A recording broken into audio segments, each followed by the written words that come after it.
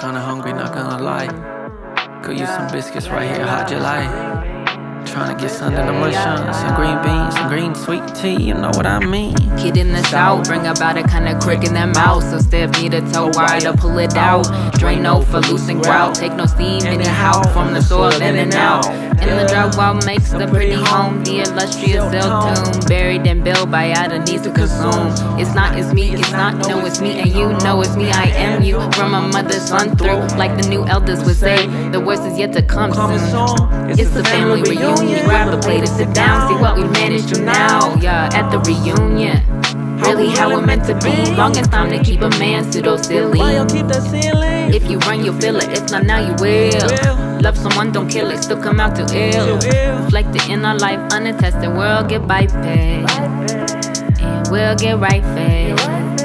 Still love the life and Blood is thicker than water.